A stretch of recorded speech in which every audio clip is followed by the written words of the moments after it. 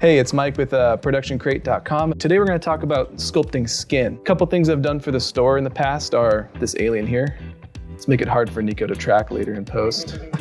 and also this shark dude. And then this video of a digital double of uh, one of our friends, Alex, from a few months ago. In that video, I showed you guys how to kind of capture a digital double. And in that video, we used some kind of hard to get assets for making detailed skin. So I thought I'd show you guys a simpler way to do it that's almost just as good using just what comes with ZBrush. And these techniques could even transfer over to Blender. But let me give you guys a quick tour of where we are in the project. We captured our buddy Johnny here. We have a pretty rough scan. This is what it looks like when you scan with a single camera on a turntable. So I've already gone through and sculpted away some of the noise, fixed some anatomy. All that stuff can be found in that previous video. So I'm at the phase where I want to add some skin details. So we got a nice anatomy fix, a nice uh, smooth detail, and it looks pretty much like him, especially with the texture on. But when we do the video, we need that really nice um, specular contribution to the skin where the skin pores are popping out. Luckily, he's got some pretty clear skin and pretty smooth skin. Thanks, Johnny, for not being old and wrinkly.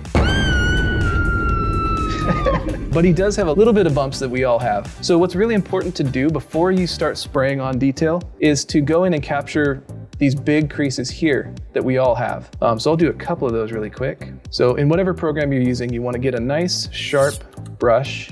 I like to use the Damien standard if I'm in ZBrush. Even for someone with really nice, smooth, clear skin, you wanna, you wanna dig a little deeper than you think you might need. You can always smooth it out. You can always turn down the intensity of your normal map at the end. So it's better to have too much depth and sharpness and noise than to have too little, because then you just gotta go back and do it. Now at this point, if you followed along with our previous video where we did uh, a sculpt of our friend Alex, uh, I used some maps you could find online. They're kind of expensive. They're from the Texturing XYZ website. But let me show you how you can get a similar effect without having to buy any assets like that. So what you wanna do in ZBrush specifically here, I'm gonna spray on just an even amount of noise all over his face, and then we can use a certain special smooth brush to smooth it just in one direction or the other. Let me show you a quick example. You wanna work with layers. So I'm gonna add a quick layer. So I'll call this one skin tension. What I need to do is just sort of spray on noise. So it can be any kind of noise you want.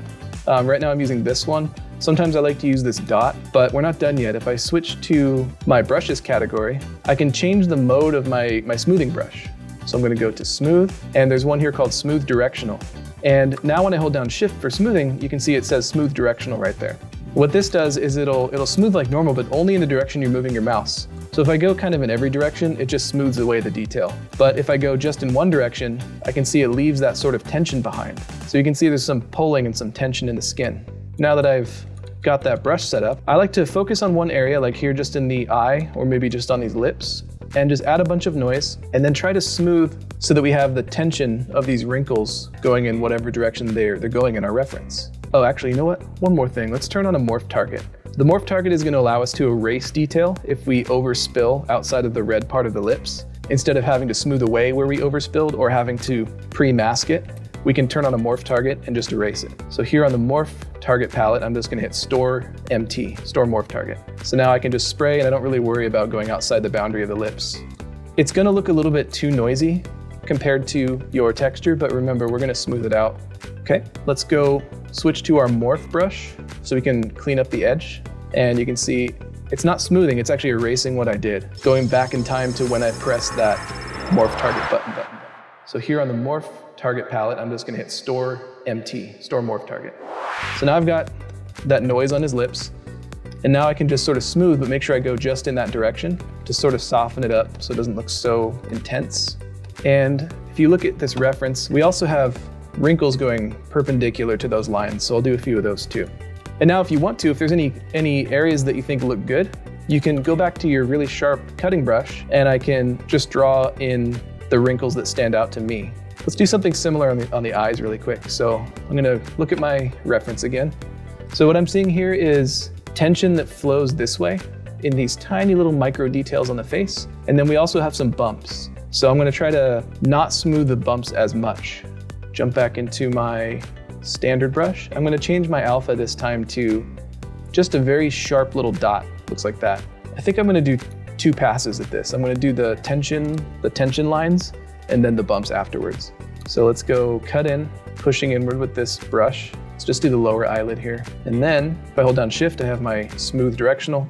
And as long as I smooth just in the direction that his skin is being pulled, it's going to start to turn in those into those micro surface wrinkles that we all have on our faces. Even a newborn baby has micro surface to the skin, so you don't want to neglect this phase if you're trying to do realistic skin textures. And then just like before, if I wanted to, I could go in and follow some of these lines that stick out and sort of do all these little micro creases.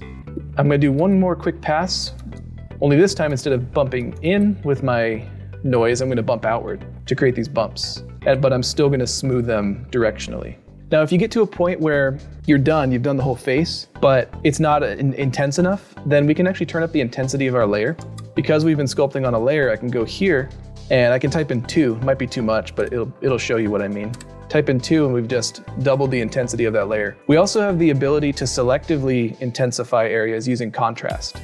So if I press C, there's a contrast target and contrast delta. I would use target if you've never used it before because it's a little bit more subtle. Let's say I want to increase just the depth of these wrinkles here, but not really this area. This will just increase the contrast of that area. So I can really get in there and make them look a little crazy. This can work on any type of skin. You could do rhino skin, you could do monster skin, but if we're focusing on human faces, it's really important that you find good reference for the different types of pores that we have all over our face. So the tip of the nose tends to have bigger, deeper, more circular pores. And then same thing with this region right here.